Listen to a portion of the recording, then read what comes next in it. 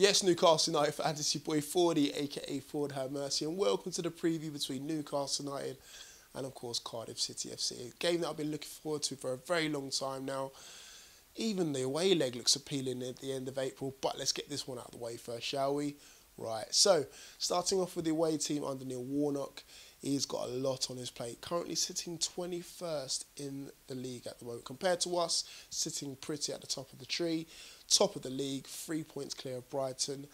He has got a lot to deal with, and he'll be looking to come to St James's Park and prove a point to all of us Magpies. So, where do they start? Well, they're going to start from the top, really. They've got the likes of obviously Rickie Lambert and Pilkington up top, and even Marwan Chamakh's got a, a new Barnet as well. So, he will look to, to prove a point as well. In midfield, they're looking very strong as well. They've got the likes of Noone and obviously Junior Hoilett on either wings, and Peter Whittingham is going to be crucial in that midfield as well. At the back, they've got the likes of Bamba and Bennett, and obviously Amos in goal. So again, it looks like a strong lineup, and it is quite surprising saying all those names that they are in the current position that they're they're in at the moment. Newcastle United, on the other hand, well, I'm just going to say it one more time. We're top of the league. Yes, you heard right. We're top of the league. And um, obviously, there's a couple of things that we need to consider going into this game. Matt Ritchie will be missing this game through suspension.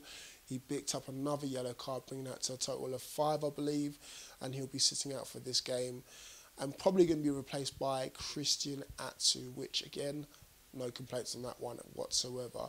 Dwight Gayle is a major doubt for this one. He might be on the bench, but I don't think he'll start for this one. Um, according to Rafa in the previous game, he was a big doubt, and I still believe he's still got a bit of an injury. But congratulations to him as well. Uh, that's not Rafa, that's Dwight Gayle, that is, uh, for picking up PFA Player of the Month.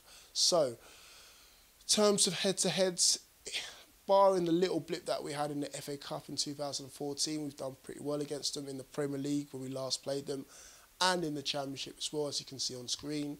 So again, nothing to worry about in that terms of things. But obviously going into the current form, well, we've won seven on the bounce compared to them who've won only two out of the previous six as well. So it's looking good on both fronts.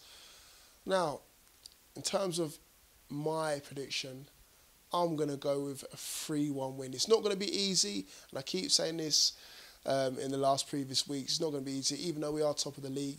As I said before, they've got quality in their squad, especially proven championship quality in their squad.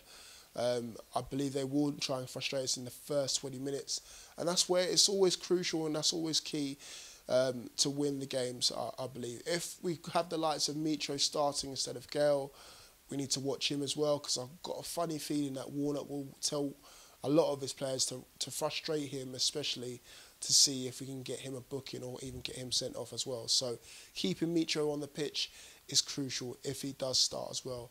I'm still going to go with 3 1. I do believe if Mitro does start, he will score. Obviously, he's got 4 and 2 at the moment going into this game. And um, with the likes of Atsu, and obviously Gouffran playing, if he does start, he'll have the service provided to put the ball in the back of the net. Um, i was hoping for a clean sheet with Darlow if he does start, but with the firepower that they have up top, the likes of Rickie Lambert, he is a threat with any balls coming into the box there. So that is my preview Hopefully you enjoyed it. Thank you guys for watching. Thank you guys for listening.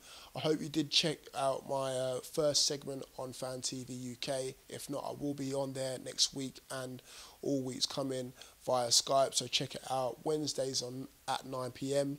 And um, I'll see you guys at the game. I will be doing fan cams, hopefully outside the Alan Shearer statue, um, not the Sir Bobby Robson statue. So please look out on Twitter if anything does change on that one. Uh, if you want to get yourselves on fan cams, you know what to do. Meet me outside of there around about 15 minutes after the game. But thank you guys for watching. Thank you guys for listening. I'll see you guys on Saturday. Keep it tuned. Peace.